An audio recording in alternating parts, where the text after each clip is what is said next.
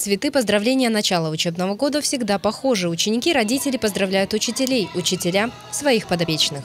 Не успели мы оглянуться, и закончились такие длинные и такие короткие летние каникулы.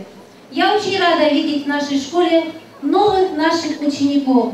Я рада видеть наших постоянных учеников. Я рада видеть своих коллег и рада видеть родителей. С новым учебным годом школьников и учителей поздравила первый вице-мэр Анапы Светлана Яровая. Я считаю, что школа, хорошая, успешная школа, это своеобразная, своеобразная семья.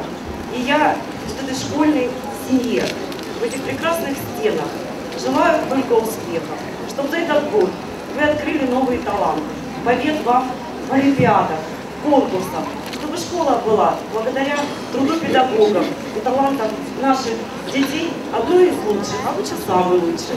Первый звонок, звонкий и пронзительный, приглашающий в школу, прозвенел на торжественной линейке. В школе номер 24 хутора Уташ, самый маленький первый класс. На линейке приветствовали всего 9 первоклашек. Каждому вручили подарки от губернатора Кубани Александра Ткачева, яркие наборы для изучения кубановедения. В августе 1948 года наша школа была открыта в статусе начальной школы.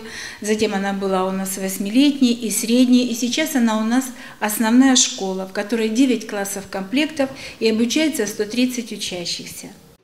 В школе номер 24 2 сентября отметили два праздника – День знаний и юбилей. За 65 лет в школе воспитали три поколения селян. Я надеюсь, что этот год пройдет э, на хорошей ноте, что он пройдет значимо, солидно. Год непростой, год 70-летия э, освобождения нашего населенного пункта от э, немецко-фашистских захватчиков. Это год олимпийский.